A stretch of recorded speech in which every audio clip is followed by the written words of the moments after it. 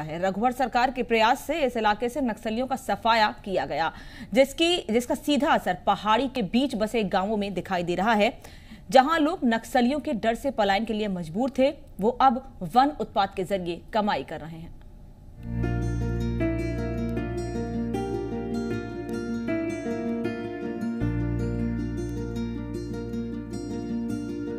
लोहरदगा से नक्सलियों के खात्मे से गाँव के लोगों की ज़िंदगी अब पटरी पर लौट रही है। सबसे ज़्यादा प्रभावित जंगल और पहाड़ी के बीच बसे गाँव थे, जहाँ नक्सलियों के डर से पलायन करने वाले लोग अब धीरे धीरे वापस आ रहे हैं और वन उत्पाद के ज़रिए रोज़गार से जुड़ रहे हैं। जंगल की लकड़ी, फल, जड़ी बूटी और इन दिनों बीड़ी पत्ते से इनकी कमाई हो रही है। सलगी पंचायत के 35 परिवारों को बीड़ी पत्ता से रोज़गार मिला है। जंगल वाला पार्टी उटी था तो पहले उतना तो हम लोग नहीं घुस रहे थे जंगल। अब पार्टी उटी नहीं है और पुलिस का अब झेले पुलिस का अथी से हम लोग पता उता तोड़ रहे हैं। और पूरा काम हम लोग कर रहे हैं। अब थोड़ा बहुत अपन पत्ता उत्ता जैतून पत्ता सब तोड़ रहे हैं, अपन कर रहे हैं। खाना खा रहे हैं घर का। पहले तो बहुत अथी था।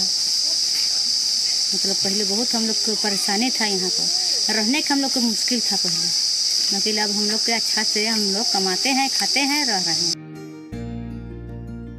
दरअसल नक्सलियों के फरमान के चलते जंगल से तेंदु पत्ता तोड़ने ग्रामीण नहीं जाते थे।